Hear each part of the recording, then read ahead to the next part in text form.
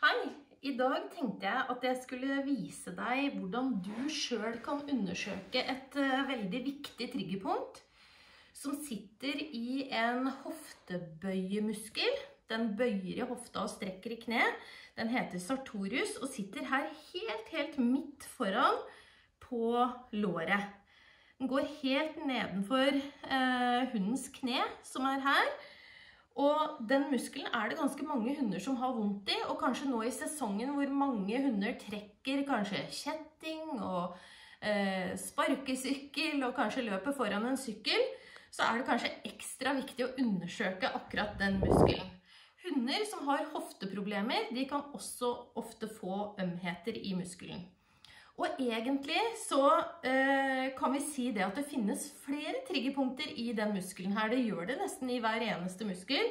Men hvis vi tenker oss at jeg bare tar tak, her kan man kanskje under håret se at jeg tar tak i en muskelstreng rett og slett, som ligger midt foran. Den er ganske lett å få tak i selv for en som ikke er så trent.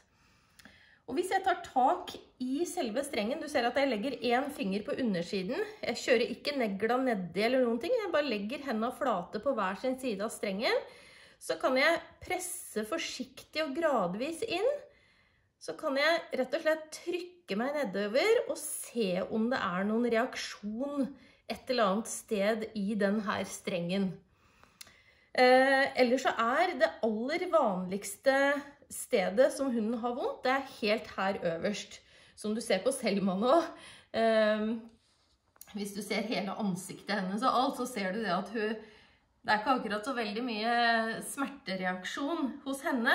Så akkurat hos hunden min så er det ikke noe hofteproblematikk eller vondt i denne muskelen her.